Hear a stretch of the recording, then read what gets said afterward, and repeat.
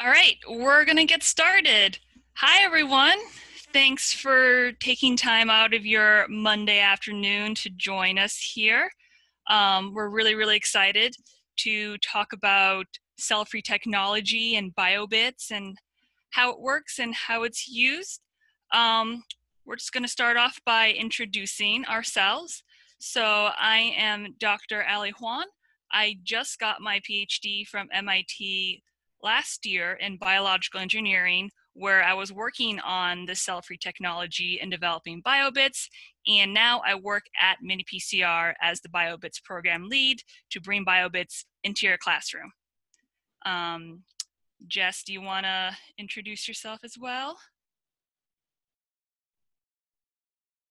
Well, you are muted. Let me unmute. Okay, there you go. Thanks. Sorry about that. Hi, everyone. My name is Jessica Stark. Uh, I am currently a postdoc at Stanford.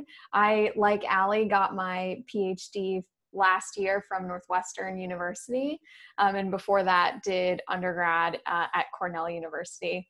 And I also did a lot of work on with cell-free technology during my PhD, and with Ally, co-developed BioBits kits, which you'll hear about later in the talk. Awesome. So, just a few housekeeping before we get started.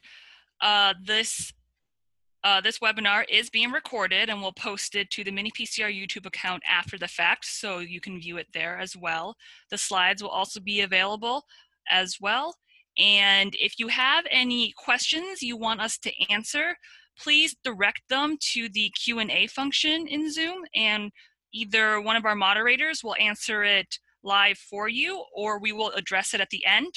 Uh, if there's any technical issues or any other comments, you can direct them to the Zoom chat. The Zoom chat will uh, get the chat straight to us panelists and we can address the issues from there.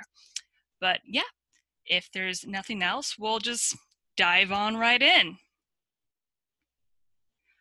All right, so let's take a step back. And when we think about biotechnology, that might sound like something very modern, but technically, biotechnology is defined as using, using living systems to develop or make products.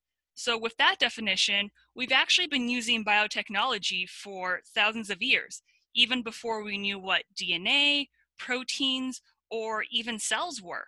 One of the earliest examples is agriculture farmers would select and breed the best and the strongest plants to survive and grow enough food for the community. Another example, uh, people have been adding yeast to foods to convert it into another form, whether that's beer, wine, or bread. So even before we understood the science behind this, we were already taking these living systems and putting them to work to create something that we need. Once we learned more about biology, we were actually able to expand how we harness the power of living systems, specifically cells. So cells have the molecular machinery to make proteins, proteins which are essential tools that help cells and us survive and grow. And if you think about DNA, DNA contains the genetic info or the instructions needed to make all these different proteins.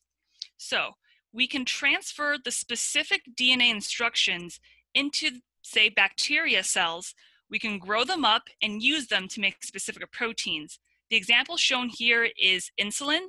These bacteria cells have been given the DNA instructions to make insulin, and we're now able to use these cells as a mini factory to produce insulin for uh, patients with diabetes. This can be done as well for other protein based medicines, say vaccines or antibodies. We can also use other molecular processes in cells to carry out, say, biochemical reactions to make things like biofuels, bioplastics, and other useful chemicals.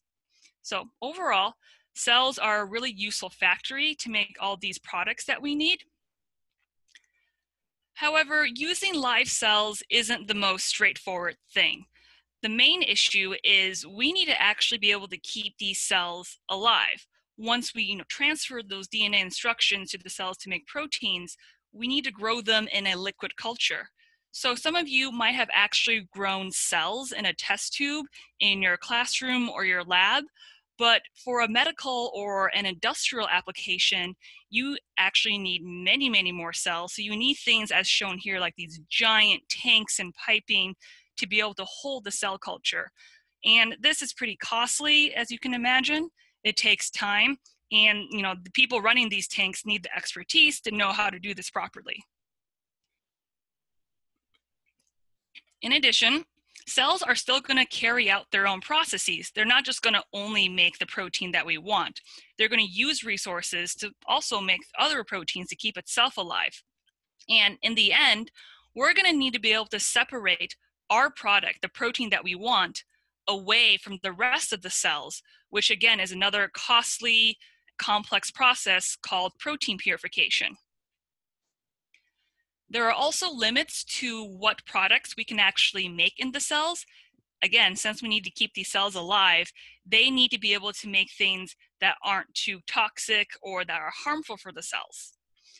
So what I'm kind of getting at here is overall, the process of making proteins from live cells can be very expensive, time consuming, and complicated.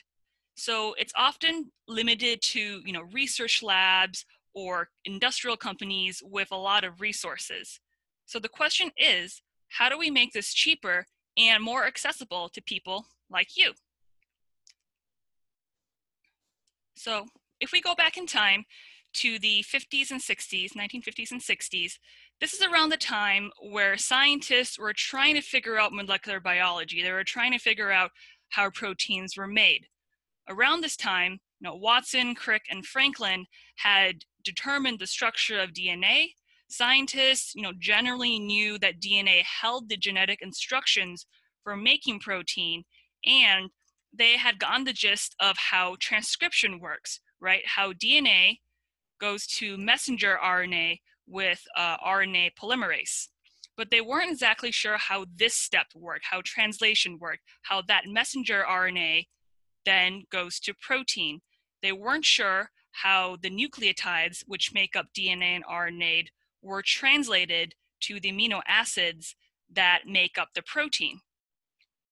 So in 1961, a groundbreaking experiment was done by Nirenberg and Matthaei, where they broke open these E. coli bacteria cells and yanked out the contents inside. And then by adding different combinations of RNA to this extract, and seeing what proteins were made in response, they were able to discover the first codon. And just as a reminder, codon is made up of, you know, it codes for three nucleotides per amino acid. So when the ribosome is doing translation, you can go from the messenger RNA shown here and translate it to the amino acid for the proteins shown here. So after this experiment, they were quickly able to figure out the rest of the codons and figure out how translation worked. And for his work, Nirenberg actually won the Nobel Prize in 1968.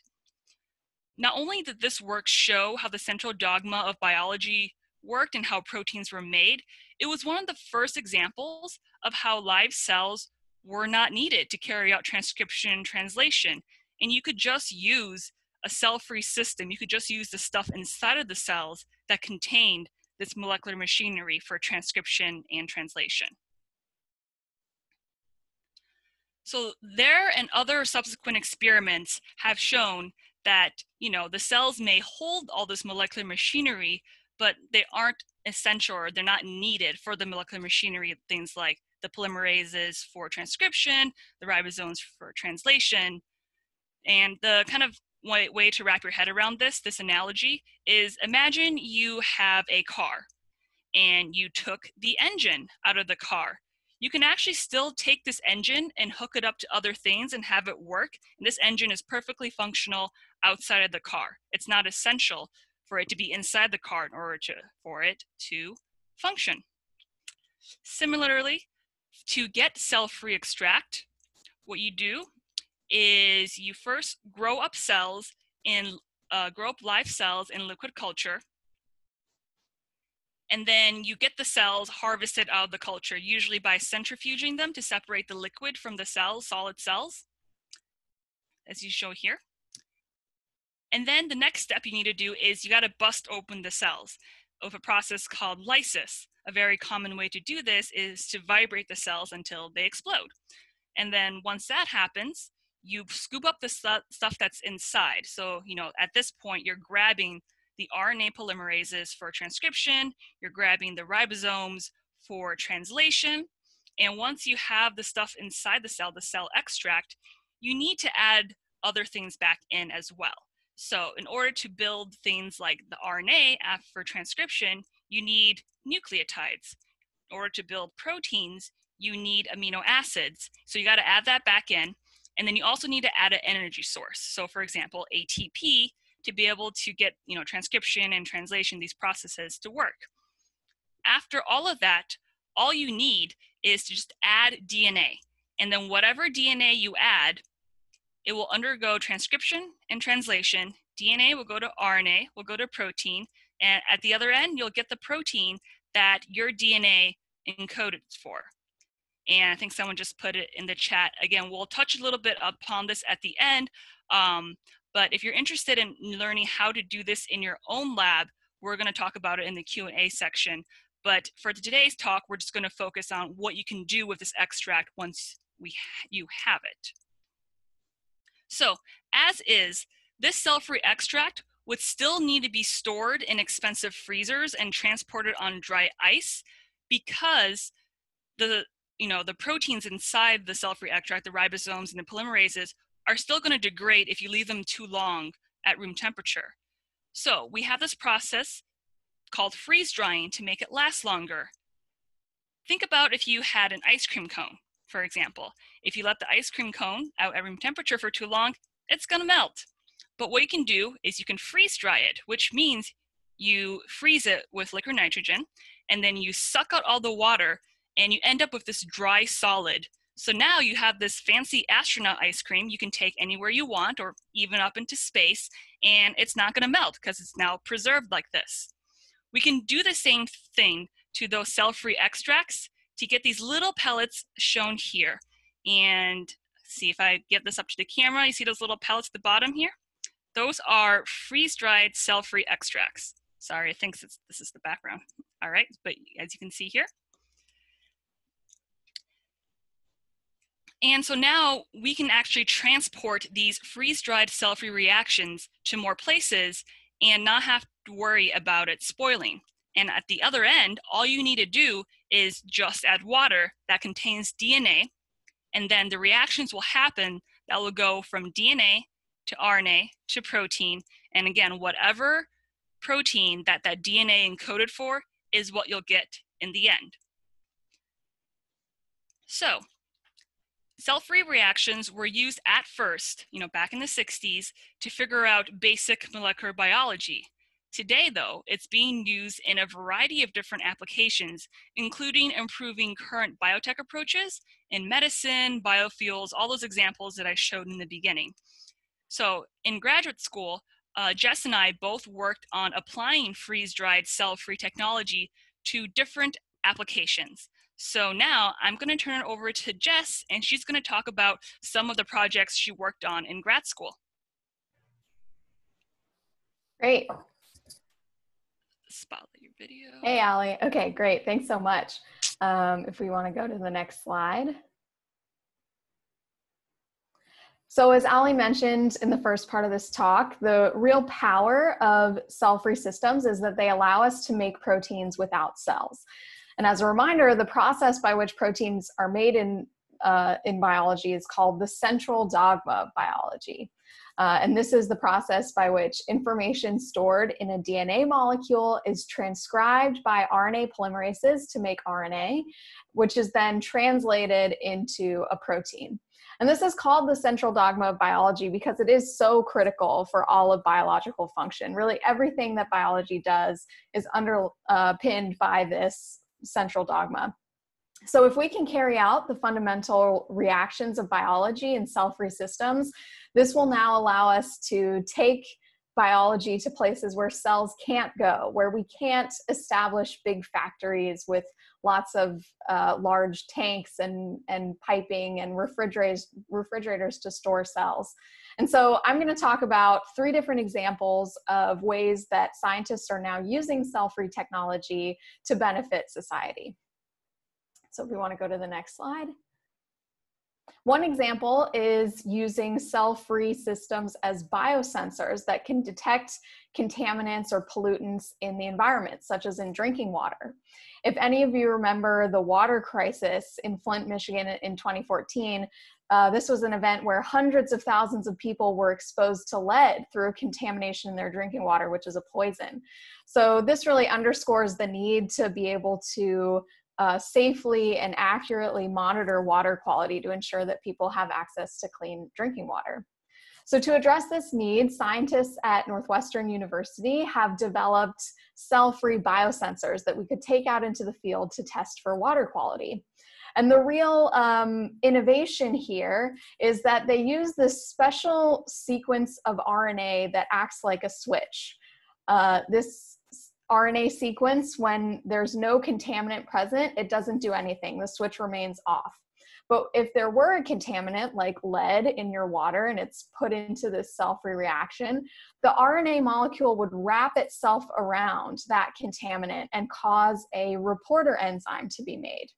And we call this enzyme a reporter because it can catalyze a chemical reaction that will produce a yellow molecule. So the color will, or the reaction will change colors, reporting that the contaminant is present. And scientists have now developed a variety of different biosensors that can sense a variety of different either chemical contaminants or additives in water. Some examples are antibiotics, metals like lead, but also things like fluoride that we put in the water to help build strong teeth. And also because Ally mentioned that these reactions can be freeze dried and transported without the need for refrigeration, it makes it really easy to think about taking this technology out into the field to test for water quality. So uh, I think this is going to be a really exciting area where cell-free systems can make a difference in the future. Next slide. Another way that we can use cell-free biosensors is in disease diagnostics, which are tests that, can that we can use to diagnose someone with a particular disease. As a proof of concept, scientists from MIT developed a diagnostic test for the Zika virus. If you remember, this virus caused a pandemic in South and Central America in 2015 and 2016. Um, and it was causing birth defects in pregnant women who were infected with this virus. So you can imagine it's really important to understand who might have this virus uh, in order to control the spread. So in this test, the researchers used a very similar RNA switch, but in this case, you can kind of think of this molecule as a lock. So when there's no virus in a patient sample that you're testing, the lock stays closed uh, and the reporter enzyme is not made. But when genes from the Zika virus are present in the sample, those genes fit into this RNA switch almost like a key going into a lock, opening up the sequence of RNA so that the reporter enzyme can be transcribed and translated. This particular reporter enzyme causes a color change from a yellow substance to a purple substance. So when scientists see a change from yellow to purple, they know that that particular sample and that particular patient is infected with the virus. And so we've talked about how systems, these cell-free systems can be freeze-dried in test tubes, but in fact, these researchers showed that this test could be freeze-dried in paper, and that's the picture on the right-hand side of this slide. Um, and so this makes it really easy to start to take these tests out into the field and really rapidly test people for whether they're infected with this virus. Next slide. Another technology that we can use in cell-free systems is CRISPR. And likely a lot of you have heard about CRISPR in the news, but you may or may not know how it works. The real, the real power of CRISPR technology is the ability to program a CRISPR associated enzyme or a Cas enzyme to, to cut or cleave a specific sequence of DNA. Um, you've probably heard about CRISPR uh, and its applications in editing the human genome to treat genetic disease, but it turns out the ability to cleave specific DNA sequences also makes CRISPR very powerful for disease diagnostics. So the idea here that was developed jointly between scientists at MIT as well as at University of California, Berkeley, is that if you could take a, pan, a sample from a patient and if that uh, sample contained DNA from a pathogen, you could amplify that pathogenic DNA up. Amplify meaning, meaning make many copies of that DNA sequence until that sequence was present at a level that it could be recognized and cut by the, the Cas enzyme. So when this cleavage happens, we get some kind of reporter molecule, a color change, a fluorescence, something that would tell the scientist that there was pathogenic DNA in that sample. And this idea could be applied to test patients for cancer, whether they've been infected by a bacteria, whether that bacteria might be resistant to antibiotics, and a topic that's on the top of everyone's mind these days, whether someone might be infected with a virus. Next slide. And in fact, this CRISPR based cell free technology has recently been applied to make a rapid diagnostic test for COVID 19. Uh, if you've been following the news, you'll know that the need for a rapid diagnostic for COVID 19 is a real limiting factor that uh, prevents us from being able to respond to this pandemic.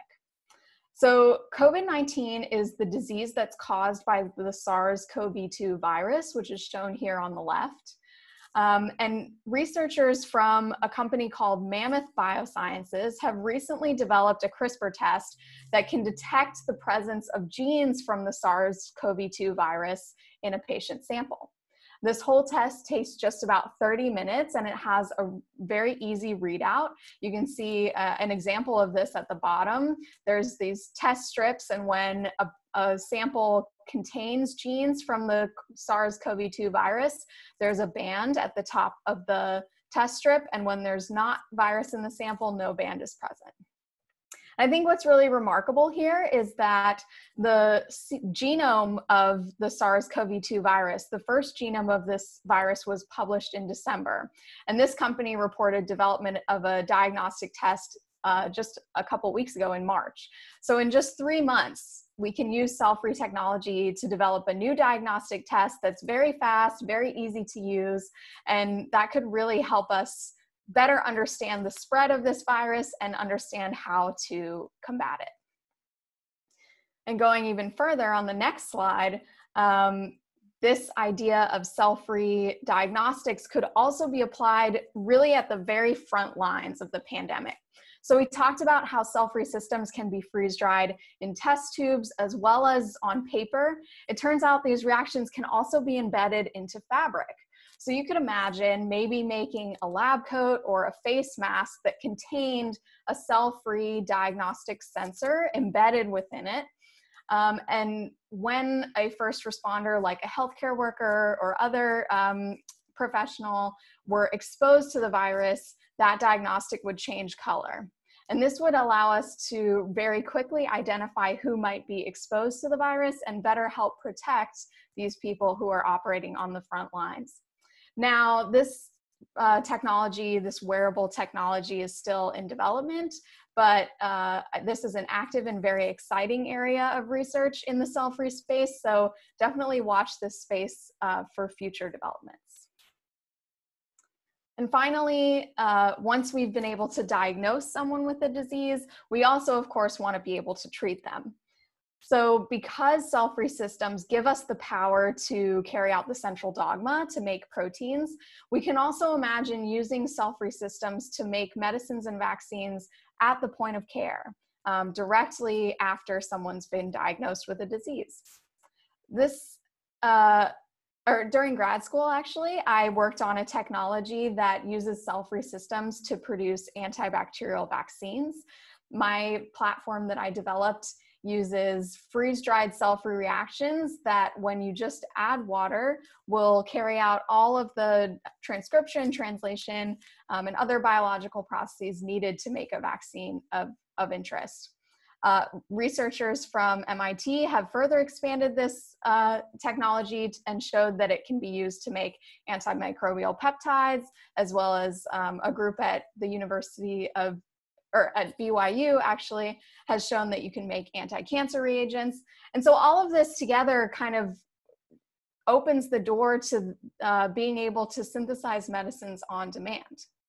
Because cell-free systems can be freeze-dried, they can be transported without refrigeration. And this is really important because the need for refrigeration has really prevented us from being able to distribute medicines and vaccines, especially in the developing world. So now you don't need expensive equipment or, or specialized expertise. You can imagine packaging these freeze-dried reactions in a small box or backpack and delivering them really all over the world. So once we do have a vaccine for something like COVID-19, uh, it's possible that cell-free technology could play a role in being able to distribute this vaccine very rapidly all over the world and help bring the pandemic to an end. Now, uh, we got a lot of questions about COVID 19 and uh, about the pandemic. I want to just mention that uh, their Mini PCR has done a really great webinar on COVID 19. You can find it on their YouTube page. Um, but for now, we're going to focus on uh, cell free technology in particular. So I'll hand it back over to Ally to talk about how cell free technology can be used in classrooms. All right, thanks, Jess. Uh, let's see, let's get this all set up. All right, yeah, so when I first started grad school at MIT, I was looking around for labs to join, and I saw this news story in on the MIT website about the work being done in Jim Collins's lab. And this is the work that was just on the previous slide, this idea of this portable biomanufacturing kit with cell free. And it sounded like science fiction magic to me. The fact that you had these freeze dried cell free reactions, no cells, you could just add water that had DNA in it, and then you would get DNA to RNA to protein, and then you could use this stuff for things like diagnostics and protein production. It just seemed so amazing to me. So I decided to join that lab and learn more. And once I joined the lab and started playing around these cell-free reactions, I realized that all this advanced technology was really just manipulating transcription and translation components in a tube. You know, again, the ribosomes, the polymerases. You're simplifying it down to the fundamentals of molecular biology, like how they did back in the 60s, and I realized this could be a really powerful tool to demonstrate these basic molecular biology concepts to students in a really engaging and hands-on way that hadn't really been done before. Plus, you know, it's easy to use, low cost, so it's good for non-lab settings like your classrooms or at home. So my main project in graduate school was co-developing BioBits with Jess, which is using these freeze-dried cell-free reactions specifically for educational uses. And so we'll go through some of that work now. So while we were both in grad school, we developed a variety of different prototypes, just exploring what is even possible in the space of education.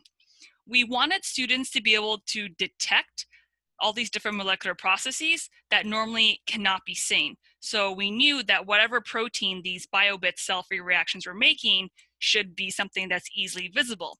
So we thought of fluorescent proteins. So fluorescent proteins are a special type of protein that can absorb light. So they can absorb light like UV or blue LED light and then emit that energy back as colored visible light. So if you ever say been bowling under a black light or like held highlighters under a black light, they all light up. That is fluorescence. And I actually have a couple examples of fluorescent proteins. Whoop, okay, let me turn off my background so you should be able to see it. Whoop. So these are uh, fluorescent proteins. I have them in this little box that's uh, exposing them to blue LED light right now. So that's why you're able to see all the different colors.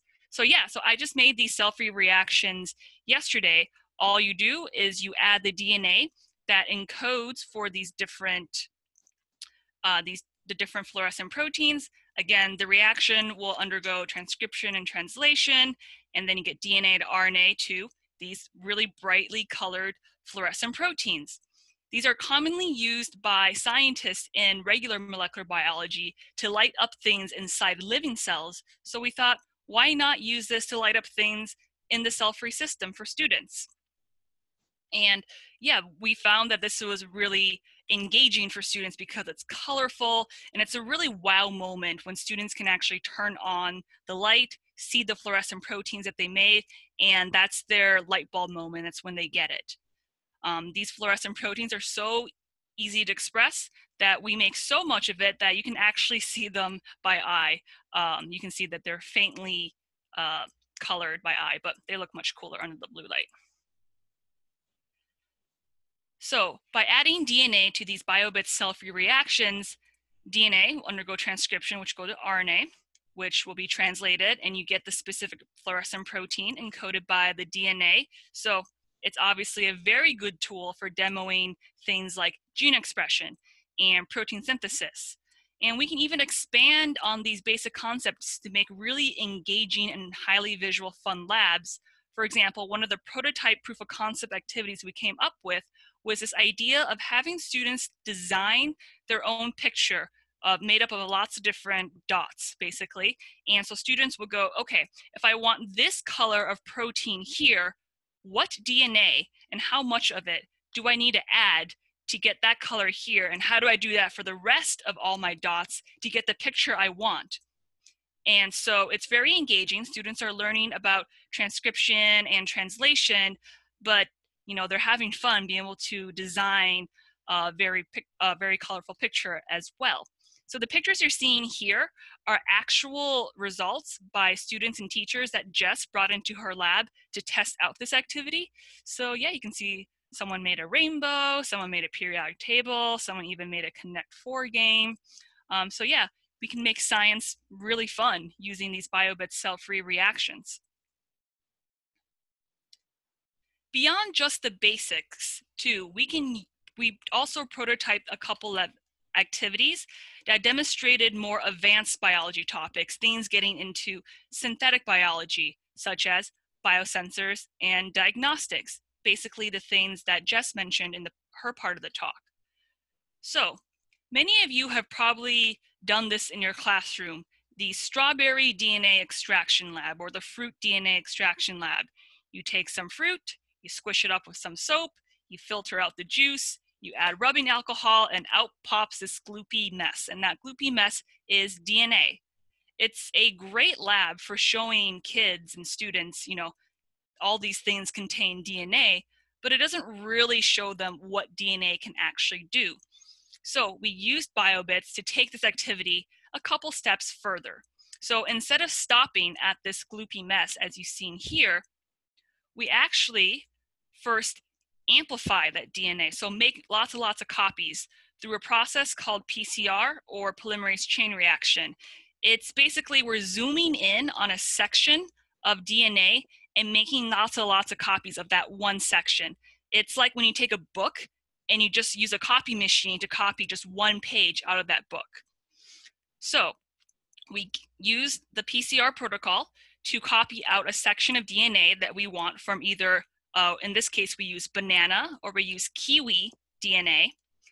And then we apply it to a, a biosensor. So these are the same sensors that Jess talked about previously. So these are the same type of sensors used in the Zika diagnostics.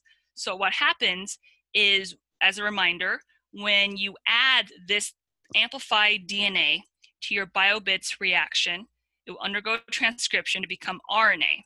And then that RNA becomes the key to unlocking the biosensor, allowing it to undergo transcription and translation and get out a signal protein. In this case, we're using green fluorescent protein as our signal.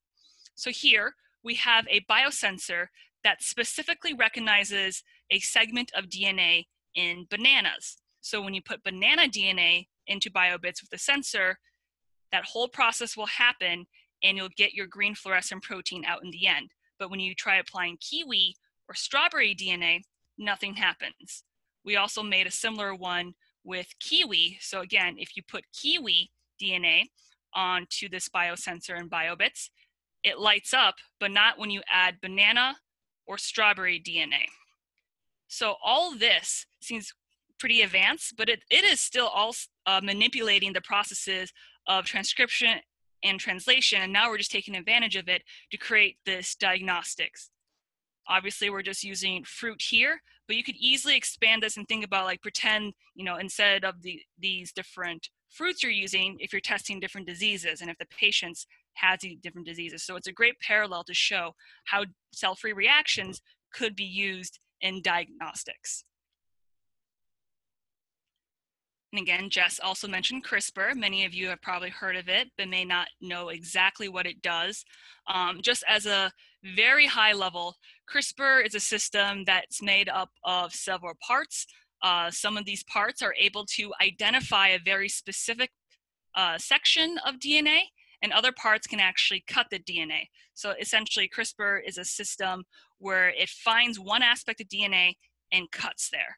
And then you can add, also add in other parts to add a cut and paste section. So you can actually edit in DNA to fix any typos in the DNA and genetic mutations and that kind of thing.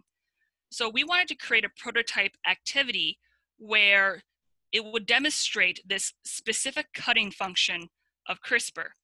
So what we did is first we used BioBits to make uh, a protein called Cas9 that is involved in this CRISPR system. And then we make use also use it to make a couple other parts involved in the CRISPR system.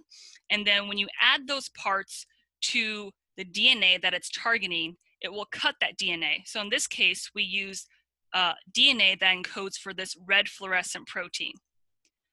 So when you add the CRISPR system to this DNA, it cuts the DNA. And then when you try adding that DNA to the BioBits reaction, to do transcription and translation and make this red fluorescent protein, you can see this is what it looks like when without the CRISPR system. This is what it looks like when you add the CRISPR system. The DNA is cut and no longer can go DNA, RNA to protein, and so you don't get any protein out at the end. And then we also add the same system to other DNA that encodes for other fluorescent proteins. But because this system, this particular system we're using, only targets the red fluorescent protein, when we try adding it to other DNA that encodes for other fluorescent proteins, you see nothing happens because the CRISPR system is very specific to whatever DNA sequence you are targeting. So this activity, uh, this prototype activity is really good for showing exactly how CRISPR works. So all these different activities that we've shown so far are just prototypes and proof of concepts that we developed while in grad school. There is a, a lot of additional development needed to bring an actual prototype to the classroom as an actual product. So for our first product for BioBits, we decided to focus on a very fundamental molecular biology concept, the central dogma of molecular biology, basically how genetic information is transferred how RNA is made from DNA through transcription, how proteins are made from RNA through translation. And again, since BioBits and cell-free technology is really just breaking down the cell to its most basic components of transcription translation, it's the perfect activity to start with. So we developed this into the BioBits Central Dogma Lab. It launched last September and it's been used in many classrooms across the country already.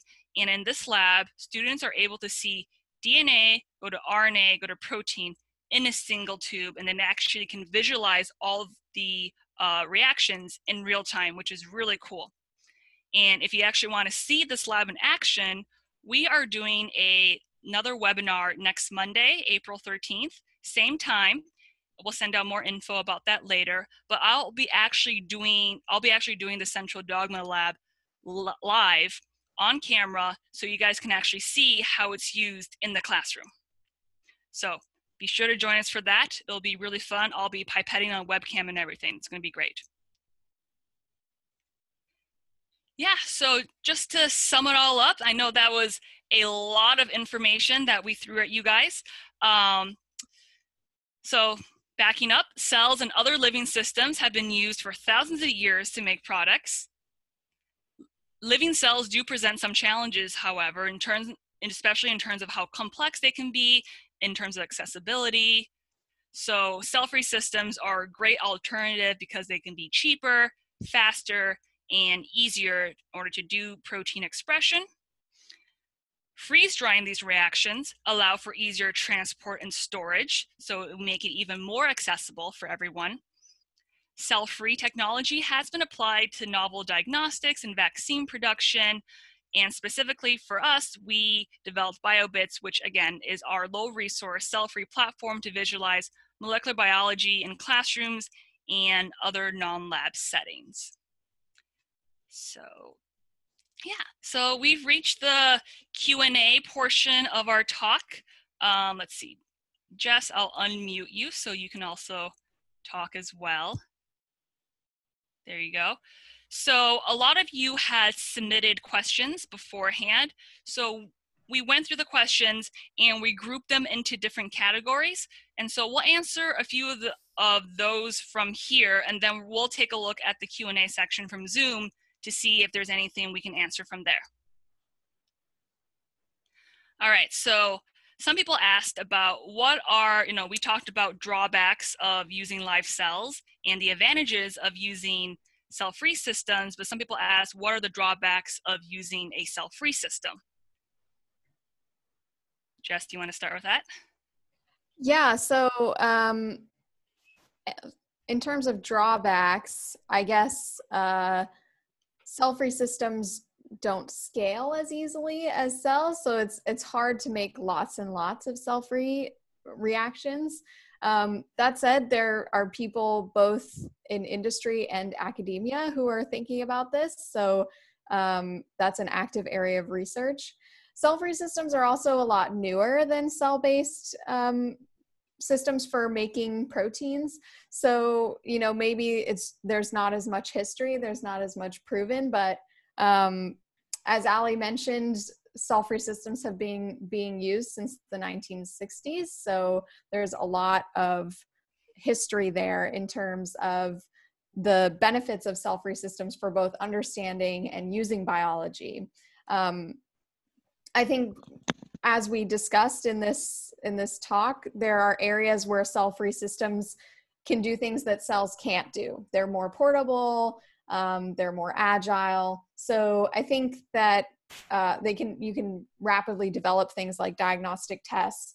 So I think you know rather than drawbacks, I might just put it as you know there might be a, a system that's best to use for your particular application. It might be better to use cells for certain things, but it mm. could be advantageous advantageous to use cell-free systems for certain things as well.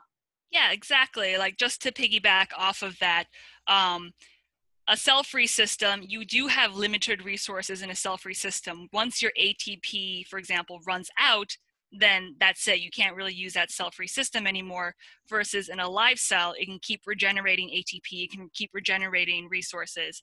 So, like Jess said, cell-free systems are useful when you just need to do a reaction once. For example, in a diagnostic, testing a patient sample.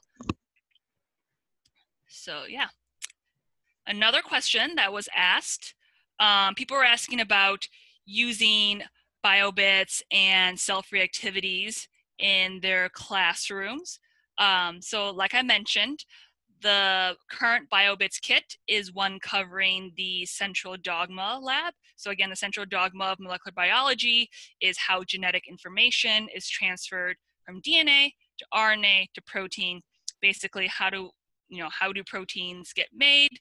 And we have a really really fun activity demonstrating this and again, I'll be doing this for next week's webinar so you can see how it's specifically used.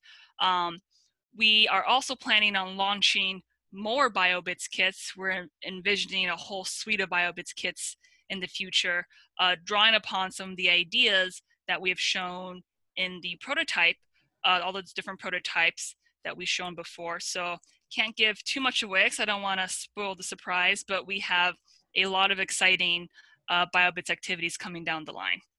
Um, and at the end of this, we're also going to throw up a bunch of resources that you can use in your classroom uh, right now. I know a lot of you are teaching virtually. So we actually have a lot of virtual resources you can use to talk about BioBits and the cell-free reaction. And again, BioBits is something that's very easily portable, so it's not out of the realm of possibility that uh, you could actually do BioBits at home right now and demo it for your students. All right, so we actually had a, quite a few questions about how to get cell-free systems into research labs. So it looks like we have some researchers and scientists who are curious how to get this up and running. Um, if you scroll back up through the chat, we actually had linked a couple of papers, and uh, there are a lot of peer-reviewed papers out there with really detailed protocols talking about how you make cell-free extract. So I, I know I went through it very, very briefly um, in my talk about how you do it, but there are all these great protocols out there. There's even videos that show you how you can do it. Uh, Sebastian just linked something um, in the chat right now. And uh, we only talked about actually um, cell-free extracts from bacteria cells. There are other cell-free systems out there. Uh, for example, I know New England Biolabs, our friends over there, have a cell-free system called PURExpress. Uh, that system is a little different. Instead of busting open cells and taking what is inside, they actually made each component of the cell-free system individually. So making the ribosomes, making the polymerases, and uh, purifying it all and combining it into one reaction that's called PURExpress. It's a little more expensive because it's a little more involved process, but it is a really good system for testing things that are new, especially if they're sensitive, like diagnostics. So I would check that out as well. Um, but yeah, just we'll link resources in the chat and yeah, there's so many different protocols out there about how to do this. Um, and yeah, just the best way is to just reach out to a cell-free lab, honestly, and talk to the people there, and they can point you in the right direction. Jess, is there anything else you want to add to that? No, I think uh, you covered it. So Sebastian has linked a paper that was developed my, by my uh, PhD lab that uh, has a way to make cell-free extract with just a sonicator. So it's supposed to be a real simple method for making extract that could be applied in many different lab settings. Not necessarily in a classroom unless you have a sonicator in your classroom, but that is one option for research labs looking to get into it. And then I would emphasize um, the PURExpress system that Ally mentioned as a commercial option of a cell-free system um, that you could purchase and use in your classroom. Awesome. Uh, some people asked, can cell-free extracts be made from other types of cells uh, besides bacteria?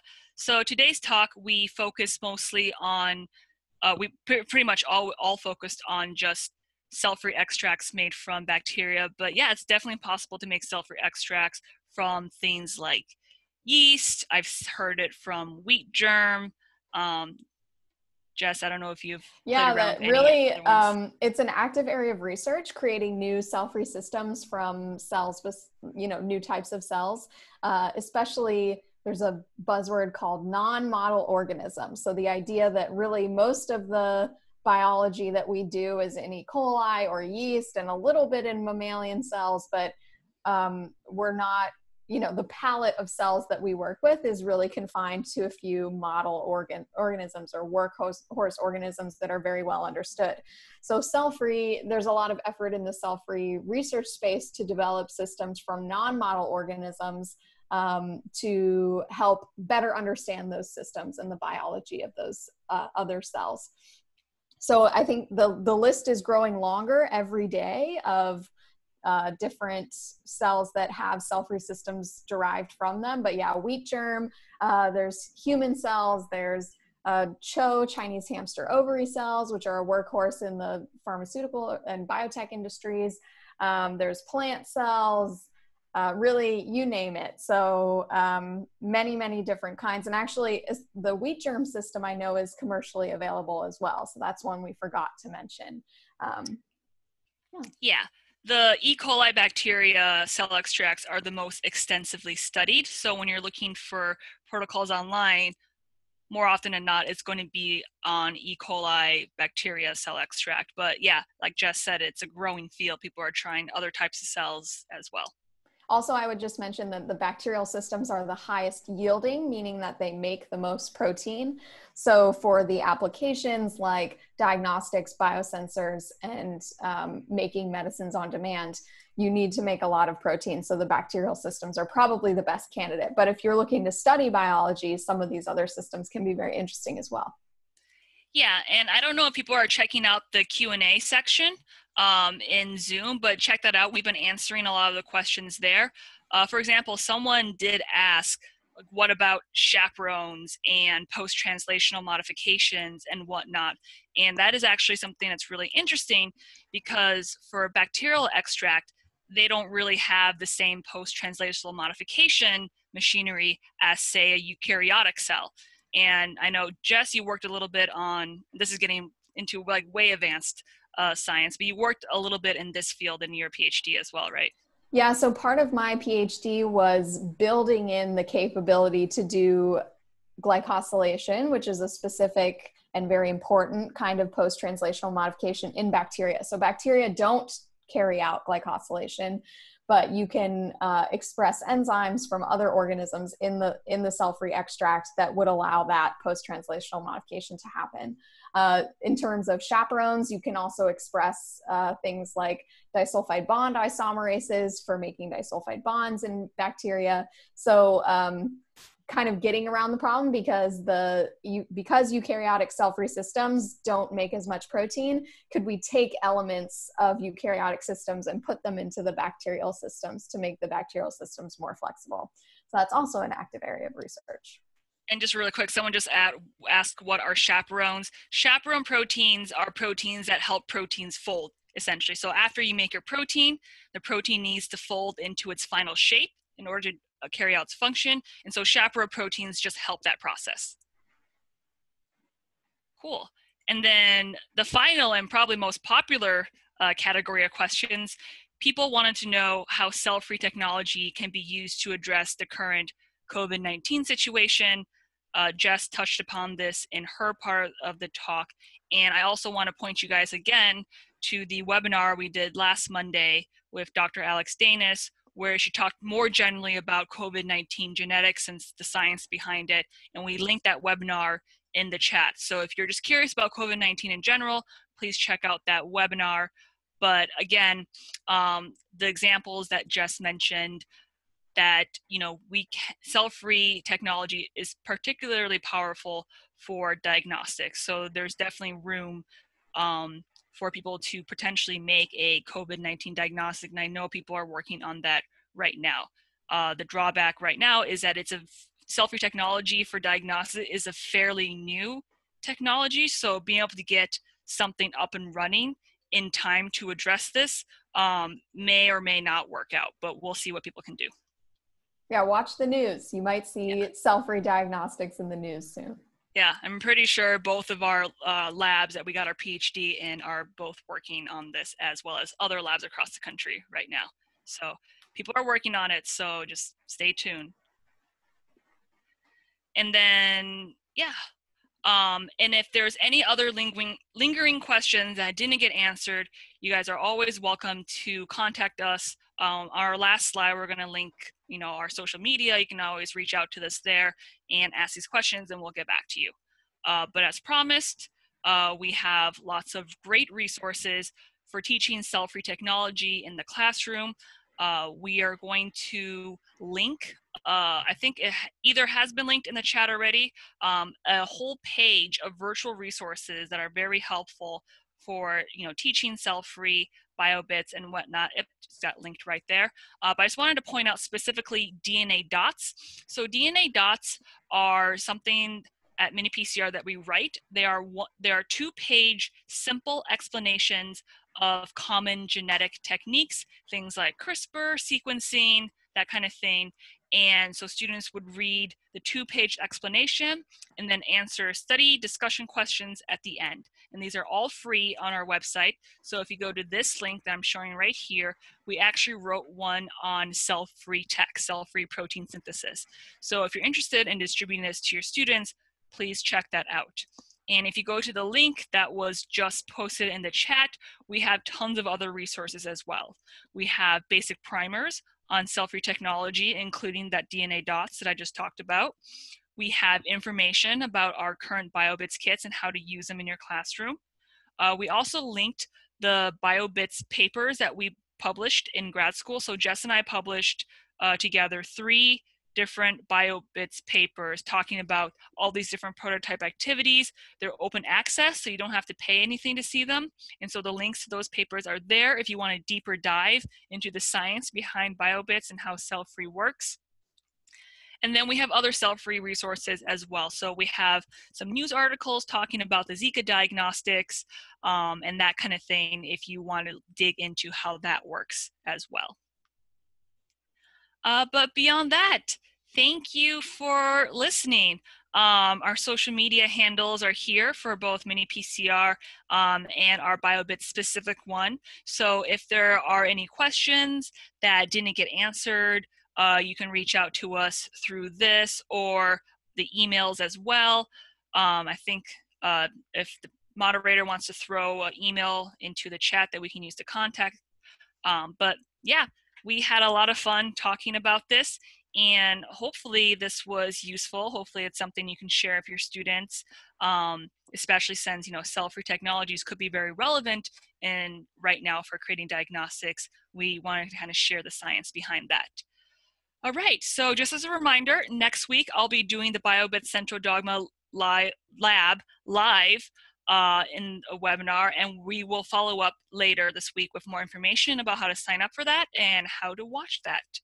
Um, but yeah, thank you, Jess, for joining me. I had a lot of fun talking about this. Thank you for having me. Happy to be here. And thanks everyone who tuned in for sharing this part of your Monday with us. All right. Sounds good. Have a great rest of your week, guys.